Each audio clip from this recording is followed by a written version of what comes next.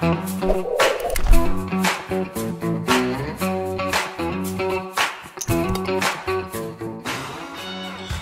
FC Selasa 6 Juni 2023 memastikan diri lolos ke babak 8 besar setelah mengalahkan Terantang FC 2-1 pada babak 16 besar di Stadion Wali.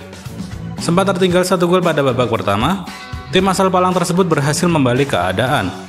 Selain Cendoro FC, Banjarjo FC juga mendapat tiket menuju babak 8 besar setelah menaklukkan Melangi FC dengan skor 1-0. Lolosnya dua klub ini menyusul empat klub lain yang lebih dulu melangkah ke babak 8 besar, yakni Pamor FC, PS Socorjo, Profit FC, dan Lanangi Jagat. Ketua SK PSSI Tuban Budi Sulistyo mengatakan, setelah babak penyisian berakhir Minggu 4 Juni 2023, cabur sepak bola Bupati Cup memasuki babak 16 besar. M. Mahfud Muntaha, Andika Feriawan, melaporkan.